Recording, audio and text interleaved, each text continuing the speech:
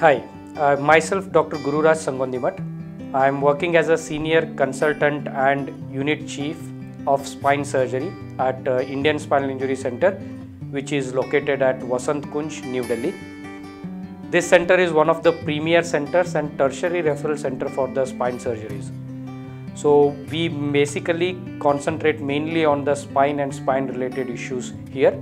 And uh, as a spine surgeon, I deal only with spine related elements. Today I am going to talk to you about the most common problem in spine which is faced by a lot of people especially with this generation that is a slip disc problem. So first of all we'll understand what is slip disc and what is disc and what is slip disc. So in our back we have these vertebrae. So they are called as the bones are called as vertebrae and then we have like 33 vertebrae in our body and last five sacral vertebrae and the coccyx that is four vertebrae they are fused. So there are no discs there. But then we have 23 discs in our body which start from the neck goes till the lower back. So disc is a cushion material or it is acts like a cushion in between two vertebral bodies. With the help of the disc we are able to absorb the shocks we are able to bend forwards we are able to back bend backwards we are able to bend sidewards. So they help in the movement and they help in absorbing the shock or the impact which comes on our back. So because this happens with this movement the disc gets degenerated with the time. What is degeneration? Degeneration is a aging process of the disc or aging process is called as degeneration. Degenerated disc is the disc which is getting aged. It is called as degenerated discs so disc is composed of mainly two types of proteins. One which covers the disc and one there is a liquid type of a protein which contains lot of water in it. So once this water content starts getting absorbed the disc becomes dehydrated and gets degenerated. So once it starts cracking it comes out of from its contents and then presses the nerves. So if we see here we have marked in red that is what is the slip disc. So how will we know whether somebody has a slip disc or not? Usually person with the slip disc presents with initially with the back pain and once the disc starts progressing or it slips further and further the back pain goes on decreasing and he starts having the leg pain which we routinely call it as a sciatica pain which starts from the buttock areas and goes down till the feet. It is like a electric current like a sensation which they get in their feet. It is a classical symptom of the disc. And these patients experience back pain with the leg pain which gets aggravated on walking or sitting or standing and get relieved when they are sleeping. So why this happens? It depends on where the disc has come out the amount of the disc which has come out. Depending on that different people have different pain areas and different symptoms. Now coming to what are the causes actually the slip disc we cannot attribute it to a one cause but yes there can be multifactorial or multiple causes for a slip disc. Most common causes like lifting heavy weights while bending forwards or getting exposed to a lot of jerky movements like horse riding. And then another most common cause is twist sudden twisting movements which we do when we play golf when we play tennis when we serve in tennis when there is a sudden twisting jerky movement it can cause slip disc in badminton or in fast bowlers in cricket. So whenever you get a certain symptoms like this like a back pain which is not relieving for more than 7 days to 10 days or you have a leg pain associated with tingling or numbness or any weakness you should immediately contact the doctor what your doctor will do he will take a detailed history in terms of how is your back pain, whether your back pain is only on lying down or whether your back pain is on walking, whether there is any aggravation in the morning or in the night. Why is that? If you have an aggravation of the pain in the morning, that goes on to show that you have something called as ankylosing spondylitis. It is not disc. If your pain is aggravating in the night, that goes on to show that you might have a TB of the spine or you might have some other cancerous conditions if the pain is getting aggravated in the night. So the classical history is the pain gets aggravated when you walk. So doctor will take a detailed history and he will see in which part of the leg you are having the pain.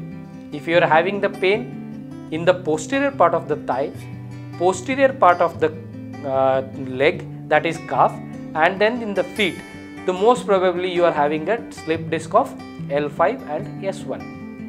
But then if your pain is in the posterior part of the thigh and coming to the front of the uh, leg and that also outer aspect then most probably you have a disc at L4-5 but then if the pain is coming at the front of the thigh then you are having a disc at L3-4 or above that that is L1-2 or uh, L2-3. So when I mean L1-2, L2-3 that means there are 5 lumbar vertebrae that is L1, L2, L3, L4, L5. They start from here L1, L2, L3, L4, L5 and then the disk between them is numbered as the disk between L1 and L2 is numbered as L12 disk. So whenever we talk L4 5 disk slip disk that means the disk in between L4 vertebra and L5 vertebra has come out and pressing the nerve.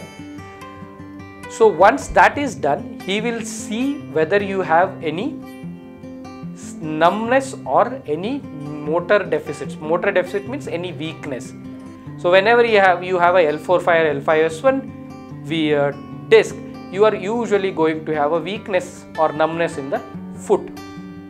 Whenever you have a disc slip disc above L3-4, then you will have a weakness uh, in the thigh muscles. So you will, your doctor will see that. Your doctor will also ask for any symptoms for difficulty in passing urine and stools or any sensory disturbance when, when I mean is there any numbness around the anus or around the genital areas. This is because very important. If there are symptoms of decreased sensation or there is a problem with passing urine or stools, that means that you are developing something called as cauda equina syndrome, where you can ultimately develop retention of urine that means you will not be able to pass urine and constipation that you will not be able to pass stools and your sexual function also can get affected. This is a surgical emergency when it comes to slip disc problem. So this history has to be asked and you have to give the history if you have these problems. So then what else your doctor will do? Once he sees that you have this problem, he will ask for an MRI because MRI will show us the bone, the disc, the nerves and the level of the problem. So once it is confirmed that you have a slip disc and it is pressing on the nerve, what else he will do? So he will ask if there are no deficits, if there are there is no numbness and the problem is since only since maybe 2 weeks, 3 weeks, he will ask you to take some medications and do physiotherapy and certain exercises. So the modern concept of treating the slip disc is bed rest is not more than 48 hours. And then what medications? Usually we give some anti-inflammatories because the pain is due to two things. One is due to the pressure, the other one is due to the nerve irritation. So we give anti-inflammatories and then we also give sometimes muscle relaxant tablets and then you have to do physiotherapy like shortwave diathermy or uh, interferential treatment or transcutaneous electric nerve stimulation that is called as TENS. These will help you temporarily during the phase of your acute pain to reduce your pain. We require surgery only in 10% of slip disc patients. All patients don't require surgery, only 10% of the slip disc patients need surgery. when we do surgery in these 10 patient 10% of the patients they have either the numbness or either they have deficits or the pain is severe which is not responding to conservative treatment since last 12 weeks if they have taken the conservative treatment for 12 weeks and it is not responding then it is an indication for surgery. Surgery in this advanced medical age very simple. It can be done with open surgeries. It can be minimally invasive surgery. It can be the most advanced robotic guided surgery. What we do in the surgery? We go in and take this disc out and take the pressure away from the nerve so that you your pain goes away. But then whenever we do surgery the surgical success rate is almost 90 to 95 percent. Patients who have advanced stage of disease or if they have since problems since long time you might not get complete relief immediately. But then yes the surgical aim is to give you relief and uh, halt the progression of the problem. So whenever you need surgery that means you need surgery. Don't get afraid of these simple surgeries because it doesn't cause any paralysis. What i mean paralysis is you don't lose a complete power in your both legs or it will not cause you to go to bedridden stage. So if you get afraid of surgeries and don't do surgeries you will develop a lot of deficits and then they will make you bedridden not the surgery. So surgery is very simple very safe. People who undergo surgery are more safer as compared to people who don't undergo surgery when it is required. Coming to the advancements in this now we can do surgeries with the keyhole, with the tubes or with the endoscope. What you mean endoscope is a small tube which goes into the, your body and we see under the monitor and then take out this disc out. Or we have now robotic guided surgeries which we have recently acquired in our institution which is one of the most advanced techniques which is available for spine surgeries right now. So we can put the screws very safely with lot of accuracy in the spine with the help of the robot. So if a correctly indicated patient with the correct surgery undergo surgery, the surgical results are highly satisfactory. So to summarize, I would say whenever you have a back pain and leg pain which is not responding to the conservative treatment for more than 7 to 10 days, you should visit a doctor and you should rush to the doctor especially if you have any weakness or if you have any problems with urination and stool passing so you should immediately rush to the doctor if at all your doctor suggests that you have deficits and you have a problem and you should undergo surgery surgery is safe and it is very simple i think you whoever needs surgery they should undergo surgery also but the last thing I would say the conservative treatment is the best and 90% of the patients do respond to conservative treatment. Thank you.